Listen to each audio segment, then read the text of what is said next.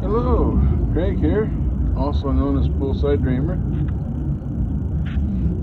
This is April 7th, 2022. Well, this pomegranate is starting to flower.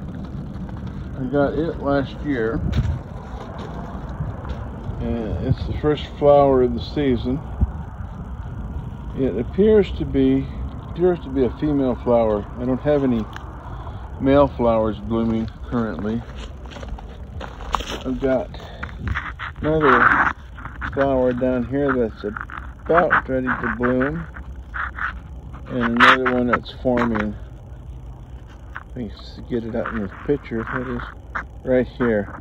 And I believe these are both female flowers also, but I'm not sure.